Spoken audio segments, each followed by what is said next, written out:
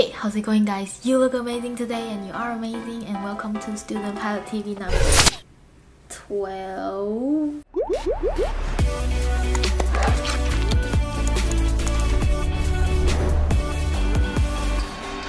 So if you like this video, please give it a thumbs up. Also subscribe so you never miss a tip on getting into aviation. And today, per request, I'm talking about how to apply for a flight school, the total hours, what kind of flight school you should choose when you when you're looking for one. And again, this is based on my personal experience and some research on the internet. So my personal experience is I have researched online and I wrote email to the flight schools in US and but then I found associations like aviation association in my own country. So I applied for flight school. Right now I'm in through an agent. If you have agency in your country you can do that also because I think they can help you.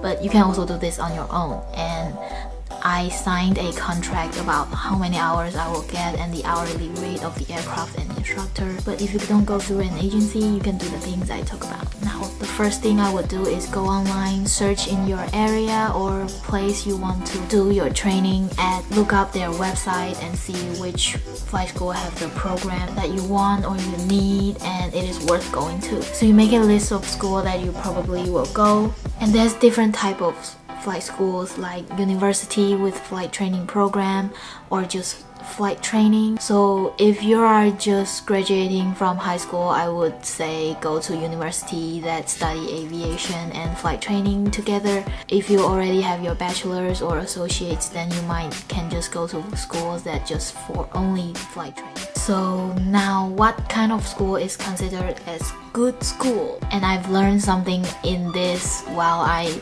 go to a flight school. So I will say you need to check on how many instructors the school have, how many aircraft the school have, and if you're an international student, check if the school can give you visas. Instructors are important because if there's not enough instructor, then nobody can teach you and the aircraft how many aircraft do they have because if there's a lot of students, then there's no aircraft available for you to fly. It's a problem as well. So these two are very important, I guess. Other factors you consider to choose a flight school is what programs they have because you need to meet your country's airline requirement. Multi-engine, single-engine, commercial. Normally most flight school have that.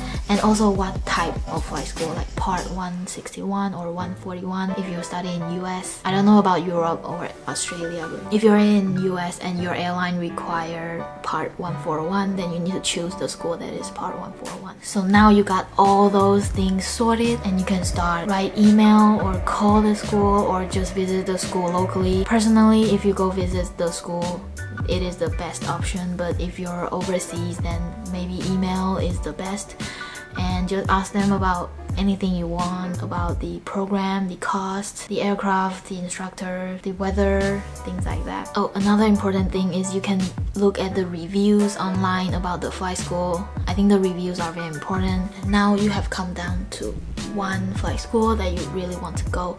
So you ask for a school application, like is it a contract or you pay one at a time, like how to apply for that school. I mean, if you ask them, the school will give you maybe some form to fill out. If you're signing a contract, they give you like hourly rate of the aircraft, how many hours you will get, and how much you pay, the instructor hourly fee, things like that. So it's all in the contract, so you need to make sure you read every page carefully. So now you have enrolled, applied for the flight school. How long does it take to finish your training? If you are in university like Embry-Riddle, UND, like to get a bachelor while training, that is same four years, I guess. But if you're in like just flight training school for just getting license, then normally people say it's about one year. But it really, really depends on the weather, the aircraft availability, your instructor. Can your instructor have schedule for you every day or three times a week, one times a week? If you only have one lesson a week, then that is like